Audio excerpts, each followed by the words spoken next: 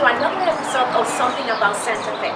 Today I'm going to introduce you to this beautiful building very close to downtown Santa Fe, the Scottish Rite Temple. We're going to talk with John Adams. So many questions about this beautiful building since 1911. So let's do it! Hello guys, welcome to another episode of Something About Santa Fe. Hello, John Adams. Thank you so much for having us. I would like to know why this building is so unique in Santa Fe and what year it is, it was built. Well, it was built in 1911, uh, about the time New Mexico was becoming a state. And it was built for the purpose of pre presenting the Scottish Rite degrees. Uh, Scottish Rite is a branch of Freemasonry, and after you get the first three degrees, the Scottish Rite presents the fourth through the 32nd degree. How many members do you have right now in the in the temple? We have a membership that is about 780 members uh, all over the state of New Mexico, but also many who live outside the state. Nice. And what do you need to do for be a member? Well, to be a member of the Scottish Rite, you're required to be a Master Mason and to uh, petition. And then we have our reunions where we present the degrees twice a year. Uh, once you go through all of those uh, degrees, then you're a 32nd degree Mason. Why Santa Fe, John? Well, Santa Fe was uh, the, the seat of government, and many of the people who were the first members were important in the territorial government of New Mexico. So, do you guys rent this place too, also? We do because um, uh, there have been times when uh, uh, when the building was not as available, but the very first activity that was held in, in this building uh, was the Santa Fe High School prom. so we, we have been members of the community for, for a long time. Amazing. Uh, and here recently, we've just been through uh, a challenge where we realized that our membership is declining and aging and not as able to financially support everything that we would like to do. So uh, we are asking the community to help us and let us help the community by making the space available for their uh, fundraisers and concerts and, and, things like that. So we do rent out the, the building in between times. Where are you located? It's uh, 463 Paseo de Peralta.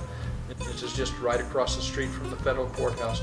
Many people are familiar with this big pink building, which is when you're going to the ski basin. Yeah. You, you turn left to, to go up uh, Bishop's Lodge Road. The big pink, pink, they have a different nicknames, but the right name is Scottish Rite Temple, okay? yeah. This is what we call the candidate's dorm. Uh, when we have reunions, uh, we have the men who are taking the degrees, they stay here so that their experience from 6 o'clock in the morning until midnight, uh, they don't have to go other places to, uh, to stay overnight, and they have an opportunity to discuss their experience among themselves. Over here, these were things that sometimes major stars gave to him or he picked up from, uh, uh, from some of the, uh, the things that he worked on. This, is the kitchen for the Scottish Rite Temple and uh, it also is uh, available for caterers to stage from to serve the dining room for events um, as well as we use it for cooking for our events. Ah, this and is this this wing, the kitchen and this wing were built in 1950s, um, and uh, the uh, costumes, many of them do date from 1911, 1912. Oh my god. This is probably our most intricate costume. This is all Belgian lace handworked. Oh Lord. Many of these have gold uh, thread in them. That's really gold thread. This is beautiful. Oh my god. These cabinets came from Moore's Men's Store on the Plaza in the 1950s. They were remodeling and they donated them. We're going into the balcony area of the theater. Theater se- seats uh, 317 total, um, but uh, we have about 100 seats here on, on this level.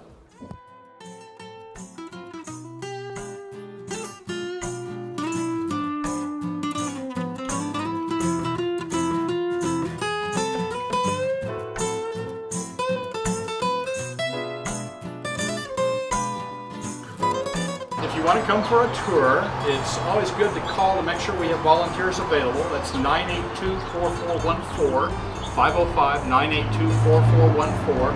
Uh, if you come up, ring the bell here, and uh, we'll uh, be glad to come and uh, open the door. We have a very small staff, so that uh, we find it best to keep the door locked to make sure things don't walk away, but, but we're glad to have visitors. Great. Too many shrunken minds